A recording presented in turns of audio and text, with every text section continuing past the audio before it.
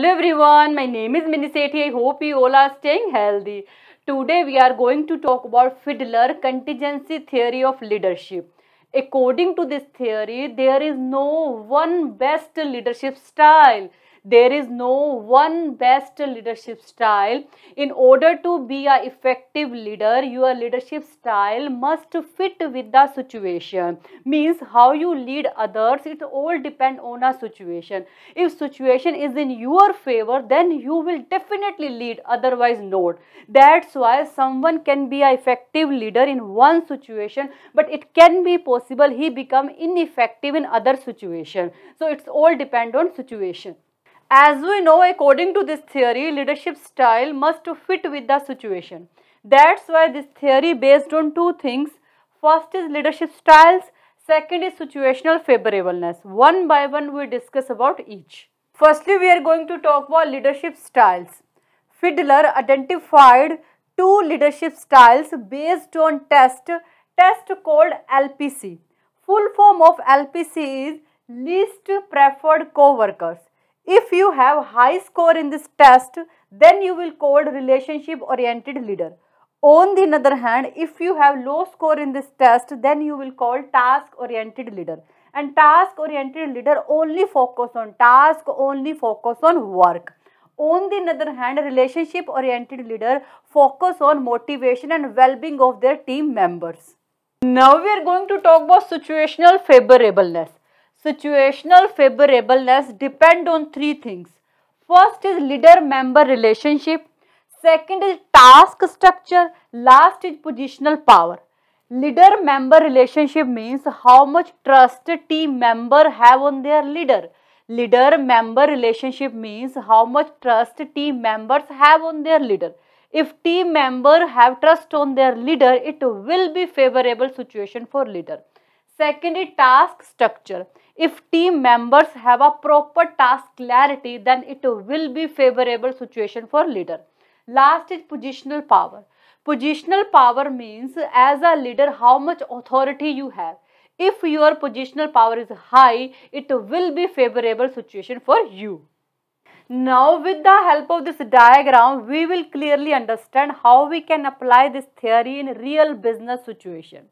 As we earlier discussed, this theory basically depend on two things, leadership styles and situational favorableness. Upper part of this diagram represent leadership style. This red curve represent task oriented leader and this blue curve represent relationship oriented leader and lower part of this diagram represent situational favorableness. As we earlier discussed, situational favorableness include three things, leader-member relationship, task structure and positional power. And here we have three types of situation favorable situation moderate situation and unfavorable situation. Column 1 and 2 represent favorable situation. Column 3 4 5 6 represent moderate situation. And column 7 8 represent unfavorable situation. In favorable situation everything is in favor of leader. You can see here leader membership relationship are good good a task structure high, high, positional power strong, weak. Only one time we came, otherwise everything is in favor of leader. So it will call favorable situation. On the other hand, in unfavorable situation, nothing is in favor of leader. You can see here leader membership relationship are poor, poor. Task structure low, low. Positional power strong, weak only one time strong came otherwise nothing is in favor of leader. So it will call unfavorable situation. In moderate situation two times leader membership relationship are good two times poor. Two times task structure low two times task structure high. Two times positional power strong two times positional power weak. So we can say that here situation neither so good nor bad. So it will call moderate situation so as we earlier discussed, according to this theory, leadership styles depend on situation. In this diagram, you can see in favorable and unfavorable situation. Our task oriented leader is leading. You can clearly see here. In favorable situation and unfavorable situation. Curve of task oriented leader is above from the curve of relationship oriented leader.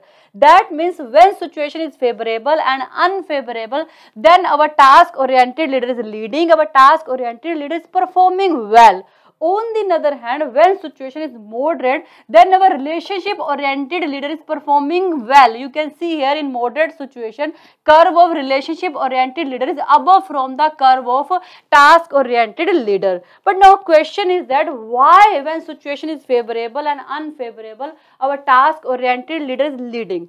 Because when situation is favorable, everything is good uh, your team member trust on you plus they have task clarity you also have positional power. In this case whatever leadership style you will adopt your team member trust on you they will not ask you any question because you have positional power also. That's why you need to adopt a task oriented leadership style when situation is in your favor on the other hand when situation is unfavorable your team member don't trust on you they don't have any task clarity plus you don't have any authority. In this case you don't have any alternative. You need to focus on only task. Ultimately you are here to achieve your business goal. That's why in this case when situation is unfavorable you need to focus on your task. Slowly slowly your team member will get task clarity. Plus they start trusting on you. It can be possible to see your work. Organization give you more positional power. That's why when situation is favorable favorable or unfavorable you need to adopt a task oriented leadership style because in this case only task oriented leader will lead. But in moderate situation a leader need to adopt a relationship oriented leadership style. In case of moderate situation a leader need to adopt a relationship oriented leadership style. But why in case of moderate situation a leader need to adopt a relationship oriented leadership style as we know in moderate situation team member have only some trust on their leader not so much and they have some task clarity and leader have some positional power. In this case first of all leader need to focus on maintaining good relation with their employees. Means leader should think about uh, well-being and motivation of their employees. It will increase their trust. Once their trust increase they will listen their leader carefully as a result, their task clarity will also increase. They will perform well. It can be possible to see the work of team members. Your organization will increase your positional power. So, in case of moderate situation, leader need to focus on relationship oriented style. So, in case of favorable and unfavorable situation, leader need to focus on task oriented leadership style. In case of moderate situation, leader need to focus on relationship oriented leadership style. This is all about Fiedler contingency theory of leadership. I think you got it and thank you so much for watching this video. Bye. Take care.